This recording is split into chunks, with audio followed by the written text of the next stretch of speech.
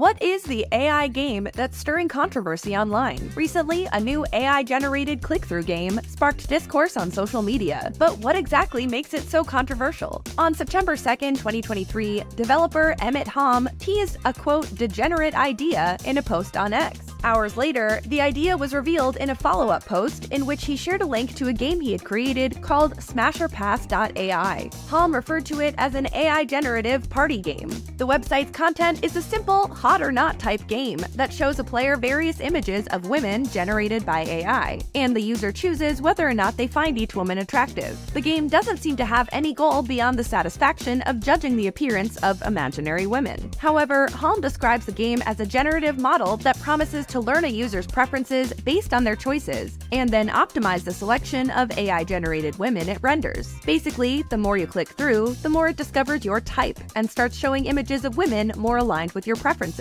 Halm shared that the goal of his game was to create a more sophisticated image recommendation system, a technology that would be useful beyond just reading computer-generated faces and bodies. Word about the website spread over the next few days, mostly through users sharing parodies of it. For example, on September 4th, X user Rona Wang shared a link to a click through game she had created based on Halm's called Friend or Foe AI, the tagline for which reads Designed to emulate the split second decisions that women need to make. This game shows the player AI generated images of men, and the player is prompted to choose which men might be perceived as a threat. In her post, Wang wrote, Men worry about how hot a girl is, women worry about how dangerous a guy is. Other users shared screenshots of fake parody versions like Arena or Marina And Gay or Not Gay. The AI game seems to be just the latest in a history of similar online games where users decide if they're attracted to certain individuals based on photos. For example, there was Mark Zuckerberg's 2003 site FaceMash, which compared photos of students at his university, and Hot or Not, which launched in late 2000. Some online even called the new game AI Tinder. Halm's game received a lot of backlash on X, one user writing, the perfect example of why tech gets a bad rep.